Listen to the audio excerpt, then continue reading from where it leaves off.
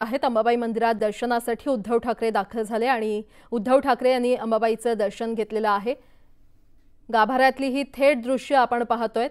अंबाबाईचं दर्शन घेऊन उद्धव ठाकरे आज आपल्या प्रचाराला सुरुवात करतायत. उद्धव ठाकरे यांच्यासह त्यांचे पुत्र तेजस ठाकरे देखील आहेत. सतेज पाटलांनी त्यांचं स्वागत केलेलं आहे आणि अधिक माहिती देत आहेत आमचे प्रतिनिधी ज्ञानेश्वर साळोखे आपल्यासोबत जोडले गेलेले आहेत.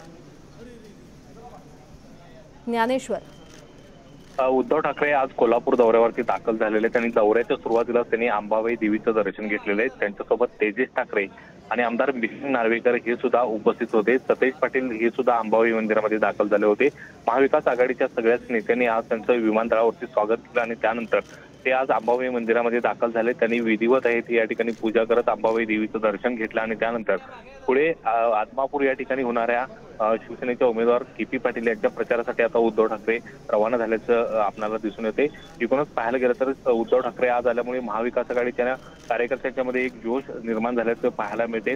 के पी पाटील यांच्या प्रचारात उद्धव ठाकरे आज सभा घेणार आणि सभेमध्ये नेमकं ते काय बोलणार याकडे सगळ्यांचं लक्ष लागून राहिले. कारण आपल्याला माहितच आहे की महायुतीचा प्रचार शुभारंभ सुद्धा आज कोल्हापुरातून होते आणि उद्धव ठाकरे त्याच पार्श्वभूमीवर ते आज कोल्हापूर दौऱ्यावरती आहेत. आणि या संदर्भात सुद्धा उद्धव ठाकरे काय समाचार घेतात का हे सुद्धा पाहणं महत्वाचं असणार आहे. एकूणच पाहायला गेलं तर आजच्या साठी दिवसासाठी जो आहे तो कोल्हापूरचा दौरा अत्यंत महत्त्वाचा आहे. मोठ्या राजकीय. घडामोडी आहे ते कोल्हापूरमध्ये घडताना पाहायला मिळतात. निश्चितच. उद्धव ठाकरे आता नेमकं काय बोलणार? त्यांच्या सभेच्या माध्यमातून हे पाहणं महत्वाचं ठरणार आहे. ज्ञानेश्वर धन्यवाद या माहितीसाठी.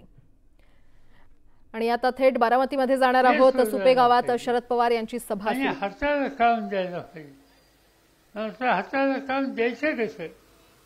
आम्ही ठरवलं की कारखानदारी सेवा पर्याय नाही. यशवंतराव चव्हाण मुख्यमंत्री होते. त्यांनी एक महत्त्वाचा निकाल घेतला. आणि तो निकाल म्हणजे श्री चिंचवडला एक नवीन औद्योगिक शहर सुरू होते. आज तिथे अनेक कारखाने आहेत. दहा लाखाच्या आसपास लोक काम करतात. हाताला काम मिळालं टाटासाठी गाडी बनते. बजाजसाठी स्कूटर बनते. लष्कराच्या तोफा तयार होतात. अनेक गोष्टी त्या ठिकाणी होतात. पुण्याच्या दृष्टींचं फायद्याचं झालं. पण फुलंदाचं काय? दौंडचं काय? बारामतीचं काय? इंदापूरचं काय? भोरचं काय? शिरवाचं काय? हा कसं माझा फिरवतो आणि तेव्हा ठरवलं की कारखानदारीची जोड याला द्यायची. तुम्ही पुण्याबद्दल निघाला सासवडला आलात आणि तिथून जेजूरला आलात तर जेजूरला आतापर्यंत मराठी वाचनाची पूजा त्याच्यात दुसरं काय होतं? आज तुम्ही तिथे येताना काही कारखाने दिसतात का नाही? जेजुरीला?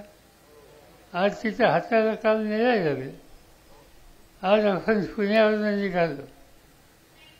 उदय कांचनवरनं पुढे आलं. लिगनच्या आसपास आलं. तर कारखाने दिसतात का रस्त्याने? आज त्या ठिकाणी हजारो लोक काम करतात.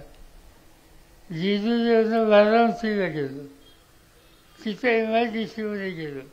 कारखाने दिसतात त्याने आज त्या ठिकाणी वीस हजार लोक काम करतात. आणि त्याच्यामध्ये सात हजार महिला काम करतात. आज त्यांना हाताला काम झालं विगवरनं खाली गेलो इंदापूरला तर अलीकडं डाव्या हाताला उद्योग दिसतात का नाही एम आय डी सी दिसते का नाही? हे सगळं केलं कशासाठी किंवा शिरूर तालुक्यामध्ये रांजणगाव गणपतीला गेला कारखाने दिसतात का नाही?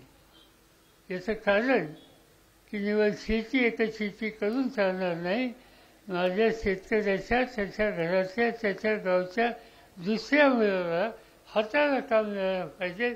आणि ते हाताला काम द्यायचं असेल तर कारखानदारी उभं करणं ही जबाबदारी आहे. आणि ते काम आम्ही लोकांनी केलं. आणि ते काम पुढे करायचे. झालं याच्यात समाधान नाही. झालं आनंद. आणि आणखीन करायचे हा दृष्टिकोन. आणि शेतीला पाणी आणि इकडं हाताळता या दोन गोष्टीच्यासाठी अधिक लक्ष देणं याची आज अत्यंत आवश्यकता आहे. त्याला सरकारचा दृष्टिकोन चांगला लागतो. दुर्दैवानं आजचे राज्यकर्ते दिल्लीचे आणि राज्याचे त्या दृष्टीनं काम करत नाहीत. मोठे मोठे प्रकल्प आहेत. तुम्हाला माहिती आहे पुण्यामध्ये तेलको नावाचा मोठा कारखाना आहे. टाटांचा आज तिथे ट्रक तयार होती. गाडी तयार होती. त्या तेलकोचे मालक टाटा वारले विचारे परवा आम्ही लोकांनी त्यांच्याकडे आग्रह केला होता की त्यांच्या डोक्यात विमान तयार करायचा कारखाना काढायचा होता. ते ठरवत होते की बिहारमध्ये जमशेदपूरला करावा तर महाराष्ट्रात करावा.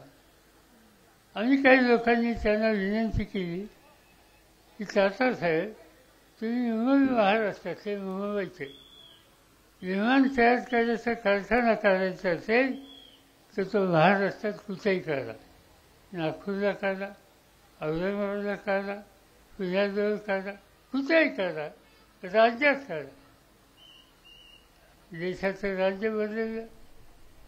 मोदी साहेब प्रधानमंत्री. प्रधानमंत्र्यांनी देशाचा विचार करायचा. पुन्हा एकदा बातम्या पाहूयात वेगवान स्वरूपात. देवळाली मतदारसंघातून राजश्री अहिरराव यांनी माघार घेतलेली नाही. अर्ज माघारी घेण्याचे कोणतेही आदेश नव्हते. त्यामुळे अर्ज माघारी घेण्याचा प्रश्नच येत नाही असं वक्तव्य राजश्री अहिरराव यांनी केलंय. ताई अ, तुम्हाला उमेदवारी अर्ज मिळाला त्यानंतर ए बी फॉर्म मिळाला. मात्र त्यानंतर काल जी माघारीची वेळ होती त्यावेळेला नेमक्या तुम्ही कुठे होत्या? नॉट रिचेबल होत्या? गेले दोन तीन दिवस मी देवदर्शन करते. शनी शिंगणापूरला जाऊन आले शिर्डीला जाऊन आले. काल मात्र सप्तशृंगी देवीचं दर्शन घ्यायचं होतं. आणि प्रचंड गर्दी होती रस्त्याने प्रचंड गर्दी होती. काल दर्शन घेतलं आणि संध्याकाळी अ, तुम्हाला ए बी फॉर्म जो आहे तो शिवसेना पक्षाने दिला. त्यानंतर तो ए बी फॉर्म मागे घेण्यासाठीचा काही निरोप आला होता का? नाही तशी काही कल्पना नाही. हे तुमच्या कुटुंबियांनी तुमच्याशी संपर्क साधला आणखी कोणी साधण्याचा प्रयत्न केला?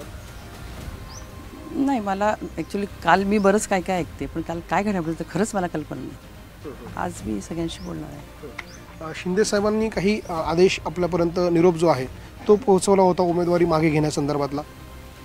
मला काल उशिरा मी आल्यामुळे मला नाही माहिती. आज मी सगळ्यांशी बोलते.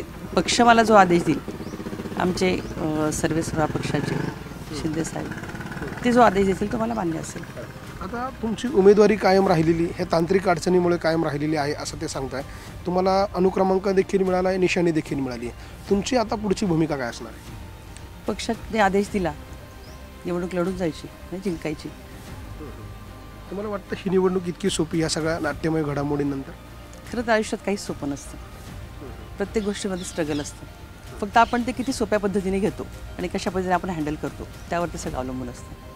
तुमच्याच पक्षाच्या काही नेत्यांनी जे आहे ते निवडणूक अधिकाऱ्यांकडे काल तुमचा जो ई बी फॉर्म आहे तो रद्द करण्यासाठीचं एक पत्र दिलेलं होतं. त्याबाबत तुम्हाला निवडणूक आयोगाने काही कल्पना दिली?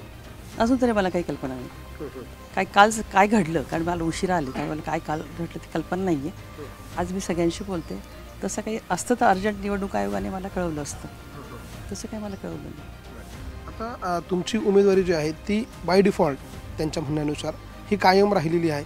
आता उमेदवारी कायम राहणार प्रचार कायम राहणार आणि शिवसेना आणि जी महायुतीचे नेते ते तुमच्याबरोबर राहणार असं काही सांगलं सांगितलं? मला वाटतं धनुष्यबाण हे चिन्ह घेऊन मी लढते मला असं वाटतं की सगळे सोबत असतील. व्हिडिओ जर्नलिस्ट हेमंत बागुलसह लक्ष्मण घाटोळ न्यूज एटीन लोकमत नाशिक. सरोज आहिरे आणि राजश्री अहिराव या दोघीही महायुतीच्या उमेदवार आहेत. मात्र आता नेमका प्रचार कुणाचा करायचा असा सवाल निर्माण झाल्यानं महा मुख्यमंत्र्यांसह दोन्ही उपमुख्यमंत्र्यांनी याबाबत खुलासा करावा अशी मागणी सरोज आहिरे यांनी केलेली आहे.